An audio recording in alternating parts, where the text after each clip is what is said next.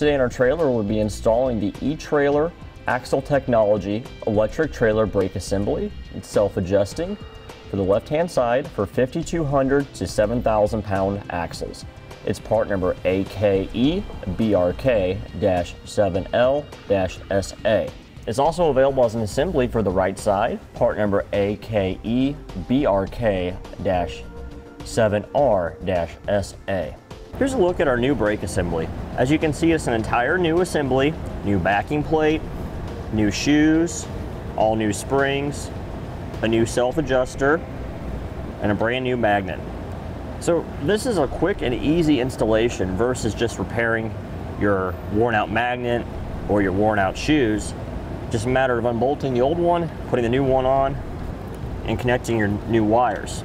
It saves you a lot of time, a lot of effort, and money in the long run.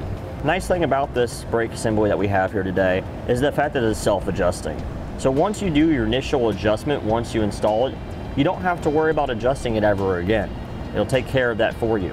All right, first thing we need to do is take off our tire and wheel assembly. All right, we'll take off our tire wheel and set it aside. Now we need to take off our grease cap on our hub assembly. Use a screwdriver. We'll just tap it in there to get behind it. Okay. We'll take off our keeper here on our nut. Let's pry it off. Then we can remove our nut.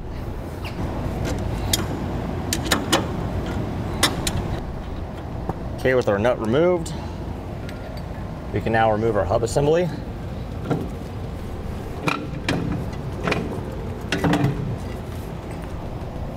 Once our hub assembly is off, we can take off our outer bearing and our spacer washer here.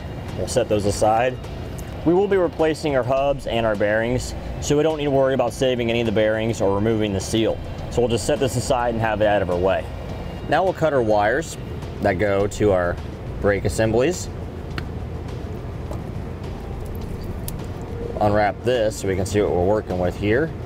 We'll snip back here, get rid of the butt connector, and we'll have a new one. You can see this isn't a heat shrink butt connector, it's just a standard butt connector. We'll be replacing with heat shrink butt connectors, so it'll be more weatherproof. Now before we get dirty, we're gonna need to clean off this grease. Let's take a shop towel here and wipe it off our spindle. This way is a good time to inspect your spindle too to make sure there's no deep gouging, cracks, or burns on it. Ours is looking pretty clean so far. Right, now that our spindle's cleaned off, we can remove our brake assembly here. I just want to point out that our brake assembly is covered in brake dust. You want to make sure you're wearing gloves when you're doing this, just because a, a brake dust can be harmful to your health. There's five nuts that hold our brake assembly on to our axle.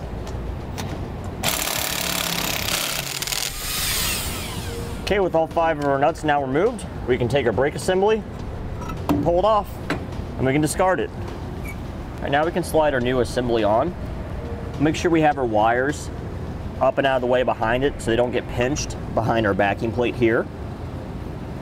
So we'll just slide it onto our axle, line up our studs, push it on.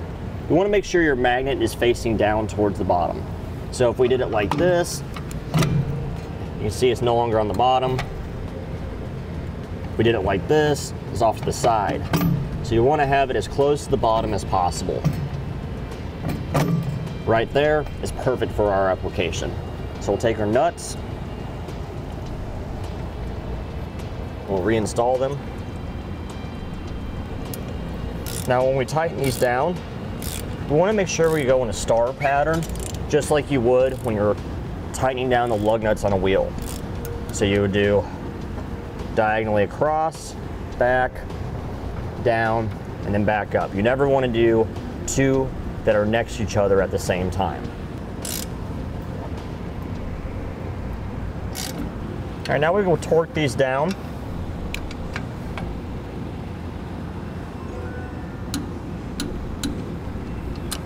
Again, just like we did with snugging them down, we'll go in alternating pattern. Okay, now that our new brake assembly has been torqued down, we can make our electrical connection to the existing wires on the trailer. Now because trailer brakes utilize a magnet, it doesn't matter which wire goes to where.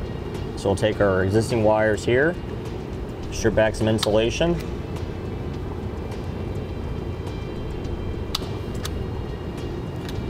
take two heat shrink butt connectors. We have these available on our website if you need to purchase some. Install them onto the wire and we'll crimp it down into position. Now since these are a smaller diameter gauge wire, what I like to do is fold the wire back in half upon itself, like that, so it's a little bit thicker. Then we can crimp it down into our connector.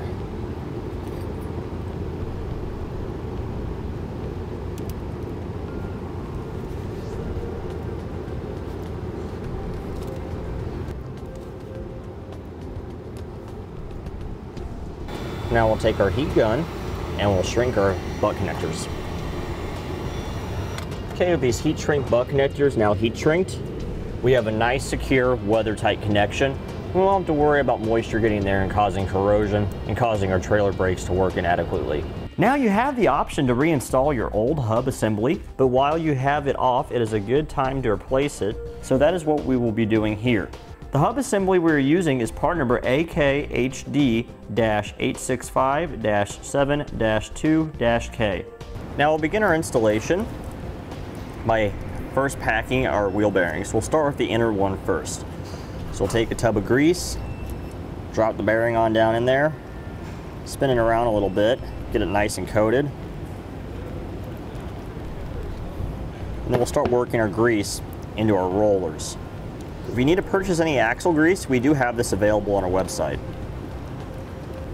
Okay, now that I'm holding the inner section of the bearing and moving the outer section, and it feels nice and smooth,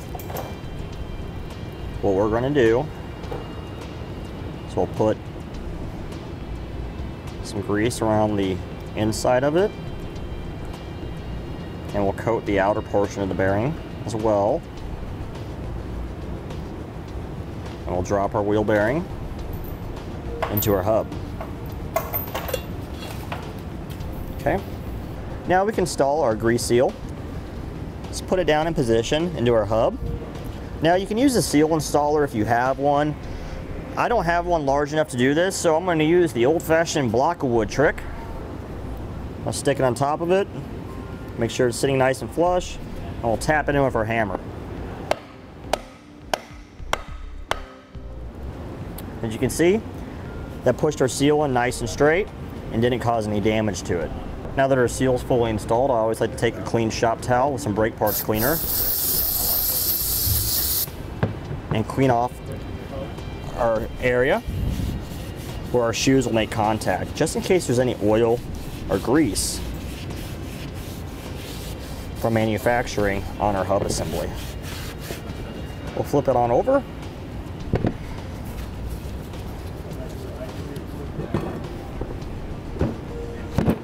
and we'll work on packing our inner bearing at this time. We'll work all this grease on the outer bearing just like we did the inner one. We'll set it aside right there. All right, so we'll slide our new hub assembly onto our spindle.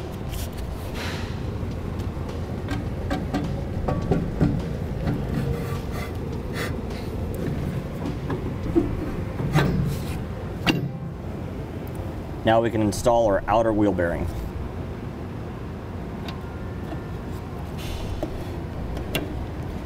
slide it into place. We'll take our washer here, slide it on a position, reinstall our nut.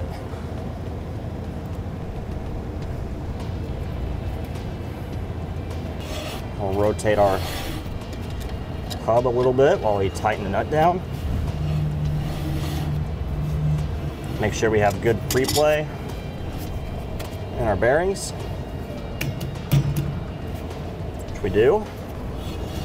And it rotates nice and smooth. The grinding noise you're hearing are our brake shoes rubbing against our drum. That's normal. We have to adjust those a little bit here shortly. Now I'll reinstall our tab here, which holds our lock nut in place. Now before we reinstall our grease cap, I always like to take a little bit of grease, put it in there, so if it needs to, it can work its way into the bearings. Take our new cap, place it into our hub, we'll tap it in. Clean off our excess grease. Now I always like to put the wheel and tire back on the hub before we adjust our brakes, just so we can rotate the brake assembly easier and get the proper feel. Now we'll tighten down our new lug nuts. They use the 13-16 socket, making sure we go in a crisscross pattern. We'll torque our lug nuts once we have our trailer back down on the ground. Okay, now that everything's installed, we need to do our initial adjustment on our trailer brakes. Once we have them adjusted properly, we don't ever have to worry about adjusting them again because they are self-adjusting. So we'll take out this back cap here. I'm gonna be using a brake spoon. We have these available on our website if you would like to purchase one. So we'll adjust our star wheel adjuster down while rotating the wheel to make sure our brakes are starting to grab more. Once we have light drag on the brakes, we know they're adjusted properly. Okay, we have light drag now. As you can see, I'm putting a little bit of effort into the tire to move the wheel assembly. Once we're right about here, our brakes are properly adjusted and we can reinstall our dust cap. All right, now we're gonna spin our wheel and have our assistant activate our brake controller on our tow vehicle. And you can see our brakes are now working properly. And that completes our installation of the electric trailer brake assembly that's self-adjusting for the left-hand side for 5,200 pound to 7,000 pound axles, part number AKE BRK-7L-SA. Click the link below to shop, learn more, or visit us at etrailer.com.